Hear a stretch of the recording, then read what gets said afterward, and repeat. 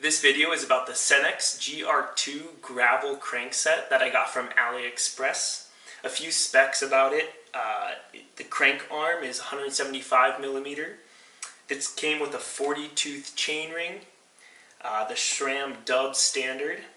I paid in total US dollars $57.59 and it took 14 days from the order date to when it showed up in the mailbox here in the Pacific Northwest. Opening the box here, uh, it came with the mounting hardware. Here's the crank arm, the GR2 Senicx. And on the back, uh, also has Senicx PR2. Uh, I looked into it. I believe the crank arm between the PR2 and the GR2 is the same. It's just branding. Um, this is the drive side, the right side.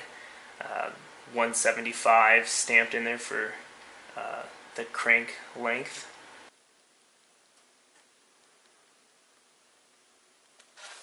And then here's the left hand non-drive side.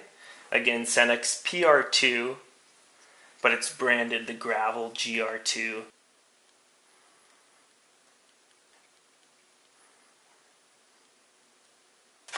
And then on the bottom here is the chainring.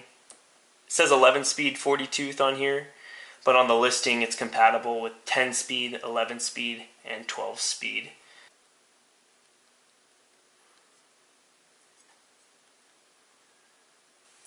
I wanted to measure the diameter on the crank spindle here. Zero that out. 28.99 on the non-drive side 28.99 on the drive side. Seems like they have good manufacturing standards on this Senicx crank set here. Mounting the chainring to the crank arm, uh, you want the face to be facing out. And the bolt pattern is such that it really only goes on one direction with this Senicx side facing out here, like that. Torx 25 socket or bit is what you need. So I'll just set those in there. Grab my socket here.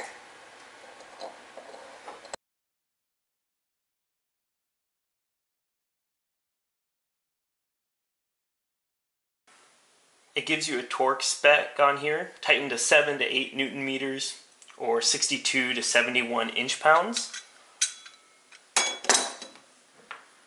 I set my torque wrench to 8 newton meters, uh, which is also 5.9 foot pounds or 71 inch pounds. And you can just use an online calculator if you have a click type torque wrench. And when I'm torquing these down, I just apply constant leverage, do about an eighth to a quarter turn. And you want your uh, torque wrench handle to be roughly perpendicular uh, to, to the bolt here. Nice even pressure. There it is.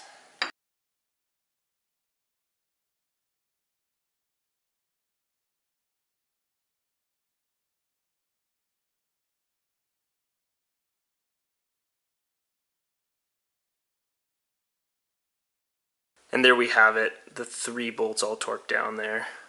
This is the drive side.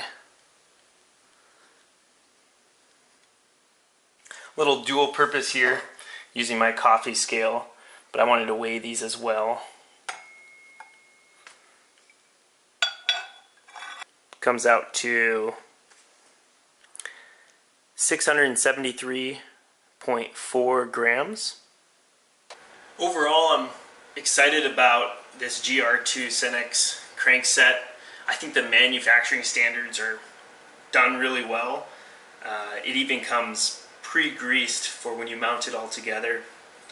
I also have this PasQuest 40 tooth oval aluminum chainring that I'll be trying as well.